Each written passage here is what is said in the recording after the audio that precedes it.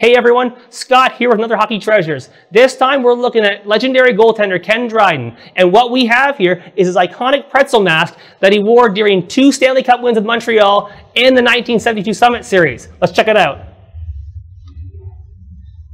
So Dryden began wearing this mask while playing for Cornell University and was still using this mask when called up as a rookie to play for Montreal at the end of the 1970-71 season where he won all six games he played in. He then got the start in the first round of the playoffs against the top-ranked Boston Bruins. He led Montreal to a shocking upset in the first round over the defending Stanley Cup champions who were led by two of the best in the game, Bobby Orr and Phil Esposito. Dryden carried the Habs for two more rounds to win the Stanley Cup, as well winning the Conn Smythe as playoff MVP. This all before being named Rookie of the Year the following season. Dryden would win five more Stanley Cup titles, with his second coming in 1973 while wearing this mask.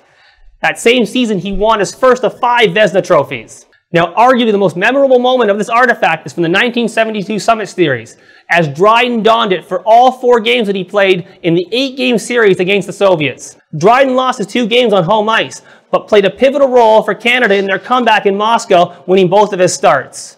For those of you who don't know, this series took place during the Cold War, and by Dryden's first win in Game 6, this series had transformed into a war between East and West. While Dryden allowed five goals in the first two periods, he would not allow another, as Canada scored three unanswered goals in the third period, including Paul Henderson's series-winning goal with 34 seconds left. Dryden held the fort for Canada, and the rest is history.